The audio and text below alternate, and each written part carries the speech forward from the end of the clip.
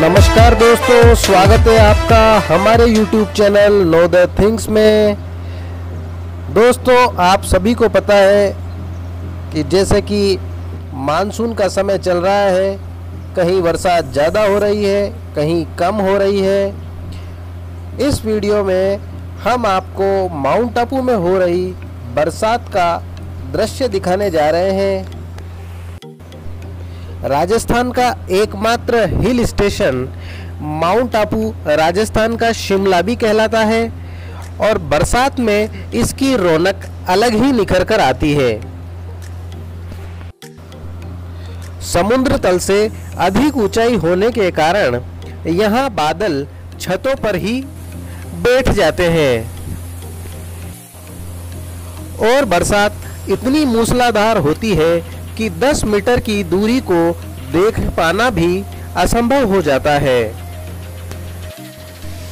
पहाड़ी क्षेत्र होने के कारण यहाँ पर बिजलियाँ लगातार कड़कती हैं और डर का माहौल पैदा हो जाता है।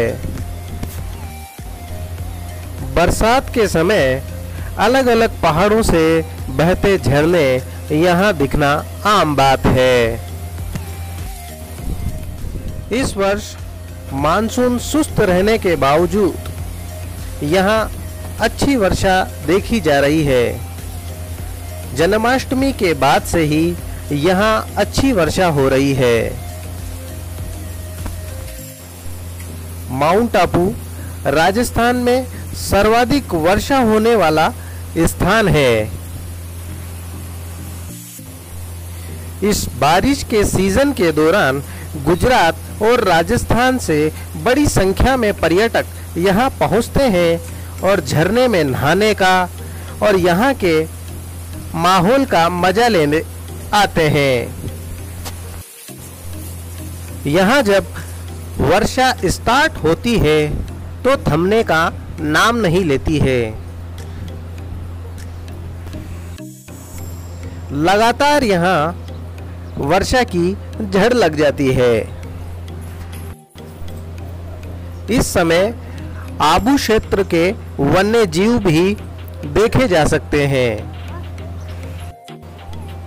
यहाँ विचरण करने वाले भालुओं को इस समय आसानी से देखा जा सकता है। वैसे तो यहाँ पर्यटक ग्रीष्म ऋतु में आना पसंद करते हैं। क्योंकि गर्मी के दिनों में भी यहाँ अच्छा माहौल रहता है अच्छा मौसम रहता है।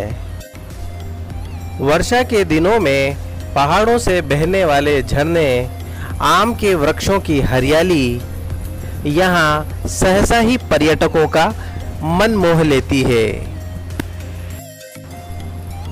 दोस्तों, यदि आप ग्रीष्म ऋतु में माउंट आबू गए हुए हो तो इस बार मानसून की ऋतु में जाकर यहाँ के मौसम का लुत्फ उठाएँ। अगर जानकारी पसंद आई तो वीडियो को लाइक करें, शेयर करें और चैनल को सब्सक्राइब